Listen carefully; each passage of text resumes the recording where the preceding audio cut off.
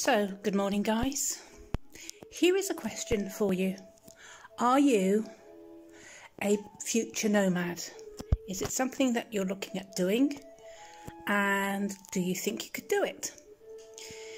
Now, here's a few ideas because obviously I've been getting ready for the last nearly two months now um, to become a nomad. I know that I can deal with most situations that arise. My major issue is going to be my car. When that breaks down, I will go into full panic mode. But apart from that, everything else I think I can deal with. Now, here's a thought. When you get up in the morning, do you need your cup of tea? And do you head straight to the kitchen, straight to the kettle, make your cup of tea, excuse the washing up, then come and find your favourite spot in the sitting room to sit and drink it and while the day away. While you're doing this, do you get up and have a wander around? Do you potter over to your desk and do a bit of paperwork or do a bit of dusting? Radiator, windowsills? Do you um, think, look at your carpet think, I must get the hoover out? Get the hoover out, do a bit of hoovering sort your pictures out. Chest of drawers need tidying. Laundry needs doing. Make a list of your shopping. Hmm, freezer needs filling and sorting and cleaning. And so does the fridge and the cooker. And probably your cupboards. And you're quite happy to do that. You make a list of all the things you're going to do today.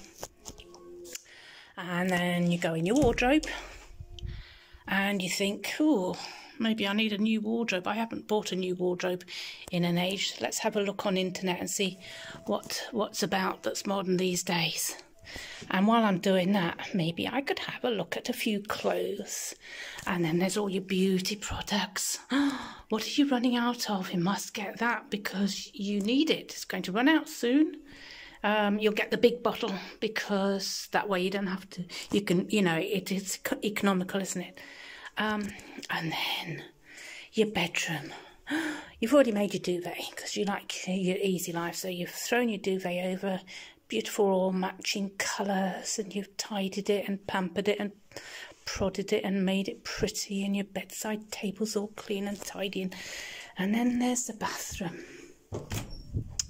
and you need a shower or a bath so you're going to run your bath are you going to put your shower on? Have you got your towels ready?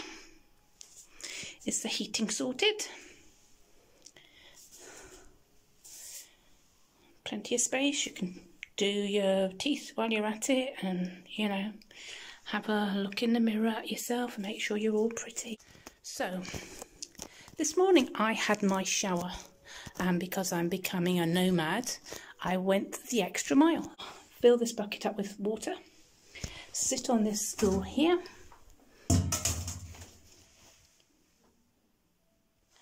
and have my shower. So, cup, over body, over hair, wash hair, wash body.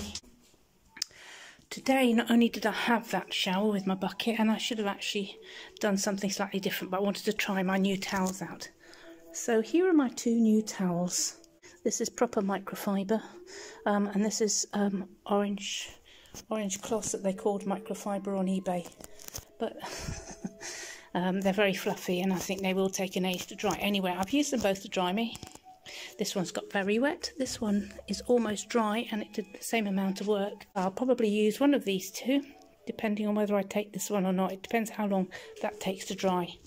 But I definitely use that one to dry myself off, and it's a small cloth I can take with me everywhere. Um, and so that's what I've worked out today, and I'm quite happy with it. Thinking back in a car, you can use your a bucket or a bowl to fill with some water. You can spray on some shampoo on your hair. You can give it a wash. You can rinse it out. You can use one of those towels. Hey presto, ready to go. If you get to a place that has a shower, you can go the extra mile. But I can live with all of that, so it's not an issue. I've got lots and lots of clean underwear and socks and stuff that I change every day, so that's not an issue. Got to go to the laundrette more often because I'm not taking so much stuff. But something to think about. Can you live with just getting up in the morning in your car and having a flask of tea ready?